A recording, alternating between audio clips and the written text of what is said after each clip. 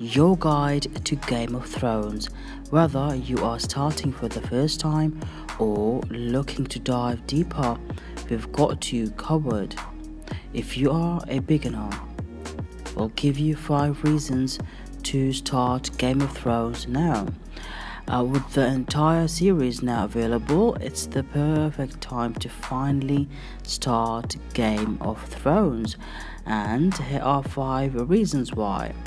Number one, you'll be in good company. Okay, uh, Game of Thrones fans are everywhere, and you won't find a more passionate or devoted fan base ready to debate, defend, or recap. Um, you know, check out the videos on the internet just to see how far viewers have gone to demonstrate their love for the series. We're not saying you have to dress up like the mother of dragons, but at least you know you'll have a go to for dinner conversation. And secondly, no more FOMO. Although the series has ended, its place in pop culture and social media holds steady, which likely means phrases and memes you don't yet understand. But the solution is simple start watching now and insert these iconic phrases into your daily vernacular.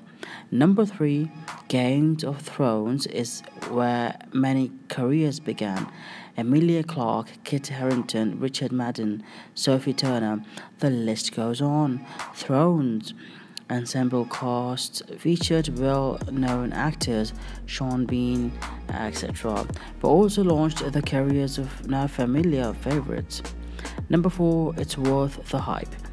The series has its reputation for a reason, whether it's a new crush, drinking buddy, inspiration, or hero.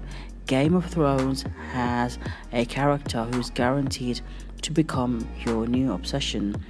Finally, watching without fear of spoilers is very freeing to be honest.